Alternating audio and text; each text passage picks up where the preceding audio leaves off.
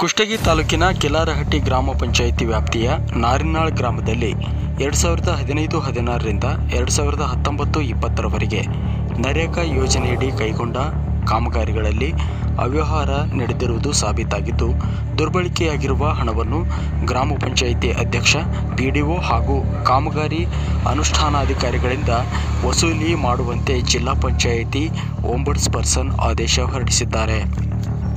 ನಾರಿನಾಳ್ ಗ್ರಾಮದ ಉಪಳೇಶ್ ವಿಠಲಾಪುರ ಹಾಗೂ ಮಹೇಶ್ ಅಂಗಡಿ ಎನ್ನುವವರ ದೂರು ಆಧರಿಸಿ ತನಿಖೆ ಕೈಗೊಂಡಿರುವ ಜಿಲ್ಲಾ ಪಂಚಾಯಿತಿ ಓಂಬರ್ಸ್ ಪರ್ಸನ್ ಜನವರಿ ಇಪ್ಪತ್ತ್ಮೂರರಂದು ಆದೇಶ ಹೊರಡಿಸಿ ಗ್ರಾಮ ಪಂಚಾಯಿತಿ ಅಧ್ಯಕ್ಷ ಚನ್ನನಗೌಡ ಒಗಳಾದ ಶಂಕರ್ ಹಾಗೂ ಚಂದ್ರಶೇಖರ್, ಅಳತೆ ಪುಸ್ತಕ ದಾಖಲಿಸಿದ ಅಧಿಕಾರಿಗಳಾದ ಮುರಳಿ ಹಾಗೂ ಕೊಟ್ರೇಶ್ ಎನ್ನುವವರಿಂದ ವ್ಯತ್ಯಾಸದ ಮೊತ್ತ ವಸೂಲಿ ಮಾಡುವಂತೆ ಅಧಿಕಾರಿಗಳಿಗೆ ಶಿಫಾರಸು ಮಾಡಿದ್ದಾರೆ. ಅವ್ಯವಹಾರದಲ್ಲಿ ಭಾಗಿಯಾಗಿರುವವರಿಂದ ದುರ್ಬಳಕೆಯಾಗಿರುವ ಹಣ ವಸೂಲಿ ಮಾಡುವುದರ ಜೊತೆಗೆ ಅವರ ವಿರುದ್ಧ ಶಿಸ್ತು ಕ್ರಮ ಜರುಗಿಸಬೇಕು ಎಂದು ಕರ್ನಾಟಕ ರಾಜ್ಯ ರೈತ ಸಂಘದ ತಾಲೂಕು ಅಧ್ಯಕ್ಷ ನಾಗರಾಜ್ ಇಟಗಿ ಹಾಗೂ ಪದಾಧಿಕಾರಿಗಳು ಆಗ್ರಹಿಸಿದ್ದಾರೆ.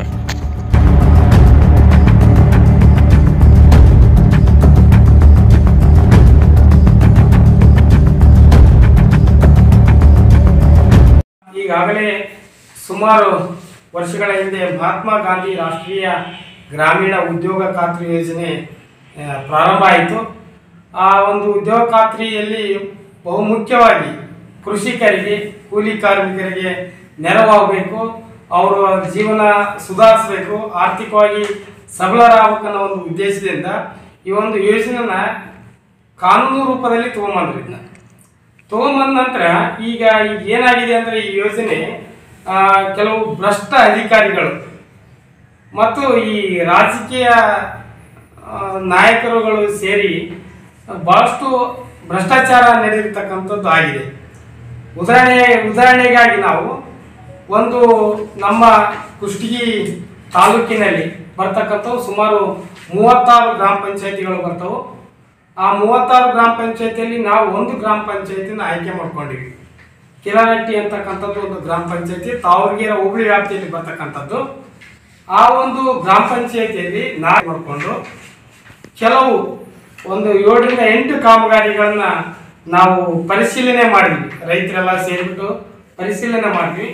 ಮಾಡಿದಂಥ ಸಂದರ್ಭದಲ್ಲಿ ಈಗ ನಮ್ಮ ಹೊಲ, ನಮ್ಮ ರಸ್ತೆ ಅಂತಕ್ಕಂಥದ್ದು ಒಂದು ಕಾಮಗಾರಿ ಅದ್ರೊಳಗ ರಾಷ್ಟ್ರೀಯ ಗ್ರಾಮೀಣ ಉದ್ಯೋಗ ಖಾತ್ರಿ ಯೋಜನೆ ಒಳಗ. ಆ ಕಾಮಗಾರಿ ಏನಾಗಿದೆ ಅಂದ್ರೆ ಇವತ್ತು ನಮ್ಮ ಹೊಲ ಐತೆ ಆದ್ರೆ ನಮ್ಮ ರಸ್ತೆ ಇಲ್ಲ. ರಸ್ತೆ ಅವ್ರದ್ದಾಗೈತಿ ಹೊಲ ನಮ್ಮದಾಗೈತಿ.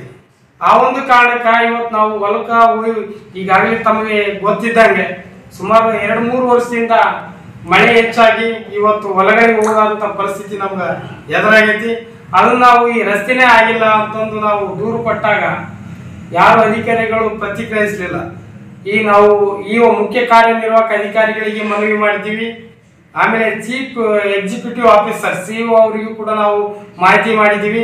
ಆಮೇಲೆ ಬೆಂಗಳೂರು ತನಕನು ನಾವು ಇದನ್ನ ಹೋರಾಟ ಮಾಡಂತದ್ದಾಯ್ತು ಯಾಕಂದ್ರೆ ನಮ್ಮ ಹೊಲ, ನಮ್ಮ ರಸ್ತೆ ಸಲುವಾಗಿ ನಾವು ರೈತರು ಈ ಹೋರಾಟ ಯಾವಾಗಿಂದ ಪ್ರಾರಂಭ ಮಾಡಿದ್ವಿ ಅಂದ್ರೆ ಹತ್ತೊಂಬತ್ತನೇ ಸಾಲಿನಲ್ಲಿ ಹೋರಾಟ ಪ್ರಾರಂಭ ನಾವೇನು ಮಾಡಿದ್ವಿ.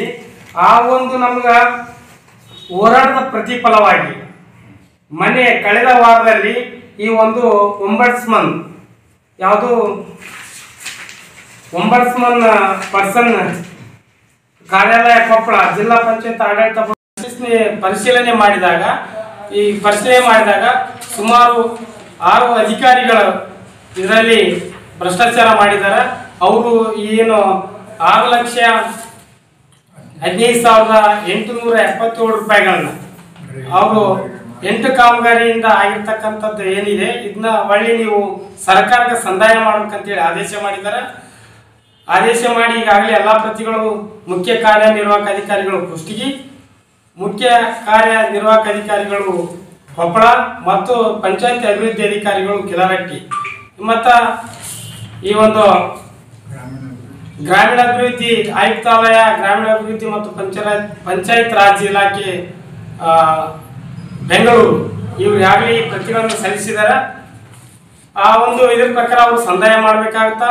ನಾವು ಈ ರೈತರು, ನಮ್ಮ ಒಂದು ಹೋರಾಟ ಏನಂದ್ರೆ ಇವ್ರನ್ನ ಸರ್ಕಾರಕ್ಕೆ ಹಣ ಸಂದಾಯ ಮಾಡೋದ್ರ ಜೊತೆಗೆ ಭ್ರಷ್ಟ ಇರ್ತಕ್ಕಂಥ ಅಧಿಕಾರಿಗಳನ್ನ ಈ ಕೂಡಲೇ ಅಮಾನತುಗೊಳಿಸ್ಬೇಕಂತಕ್ಕಂಥದ್ದು ನಮ್ಮ ಗೊತ್ತಾಯ ಐತೆ ಅಂತೇಳಿ ಈ ಸಂದರ್ಭದೊಳಗೆ ನಾವು ಹೇಳಲಿಕ್ಕೆ ಬಯಸ್ತೀವಿ.